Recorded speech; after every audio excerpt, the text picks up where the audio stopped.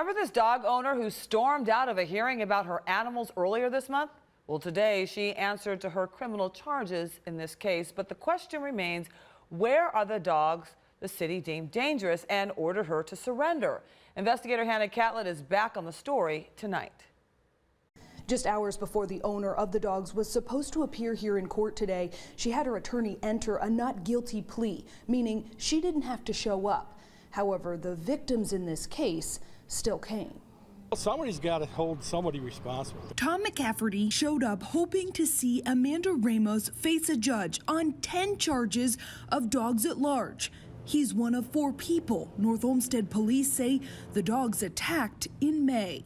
And right now, my hand's still swollen six weeks later. The city's animal warden says he didn't have space for the five dogs at the city kennel, so he left them with Ramos as the case proceeds. However, we last saw Ramos the day she stormed out of this meeting at City Hall, held to declare her five dogs that did this damage dangerous. Where are they right now? I don't know. You don't know where the dogs I are. have no idea, honey. According to city council members, the city still doesn't know even after ordering Ramos to surrender her dogs so they can be humanely put to sleep.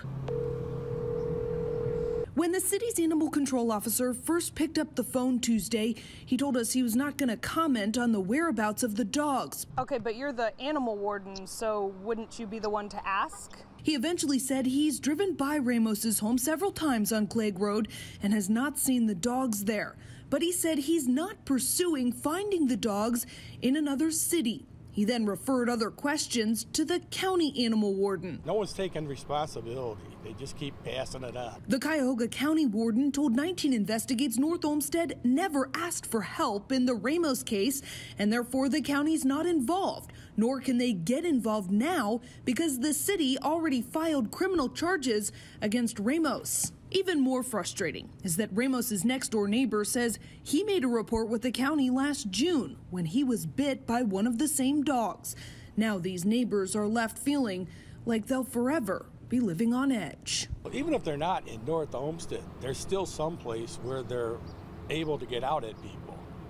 And my main concern is does someone is when someone finally dies over this or they maim someone so bad that they'll finally do something about it. It just seems like there's so many unanswered questions. Hannah Catlett, 19 News. Ramos's criminal pretrial has not been scheduled yet, but we're told she will eventually have to come to court in the case.